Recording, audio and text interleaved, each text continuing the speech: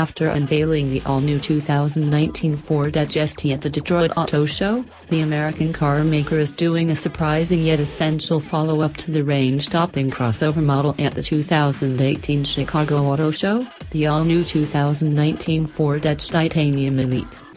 As its name implies, the Ford Edge Titanium Elite is a step up from the titanium package, while still lurking below the platinum. In a sense, the Titanium Elite could be considered as Platinum Lite, although the moniker chosen is more indicative that it is one of the higher spec models of the all-new Ford Edge.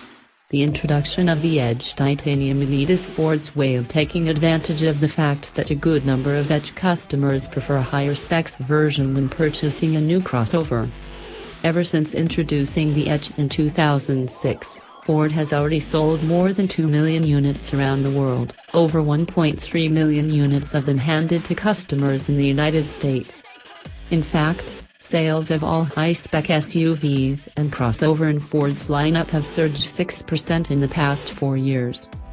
The increase was greater for the high-trim Ford Edge, which saw sales hike by 8% in the previous four years.